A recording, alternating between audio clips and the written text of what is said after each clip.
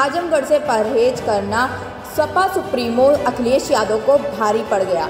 यही कारण है कि लोकसभा उपचुनाव में सपा प्रत्याशी को हार का मुँह देखना पड़ा। तो वहीं सपा पदाधिकारियों का कहना है कि अगर चुनाव प्रचार के दौरान अखिलेश यादव एक भी दिन ज़िले के दौरे पर आ गए होते तो ये चुनाव हम ना हारते। हालाँकि चुनाव परिणाम के बाद सपा प्रत्याशी धर्मेंद्र यादव ने पदाधिकारियों के साथ समीक्षा बैठक की।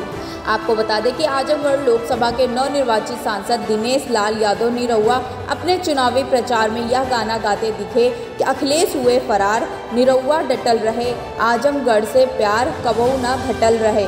इस गाने ने ज़िले की जनता को सोचने पर मजबूर कर दिया। और जिस तरह से निरहुआ जनता के बीच जाते रहें और दो साल के नाम पर मौका मांगते रहें, जनता ने भी निरहुआ को चुनाव जिताना बेहतर समझा। यही कारण है कि बड़ी संख्या में ज़िले की जनता ने भाजपा के साथ जुड़ना पसंद किया और भाजपा को चुनाव में विजय मिली। Bureau report, IPN.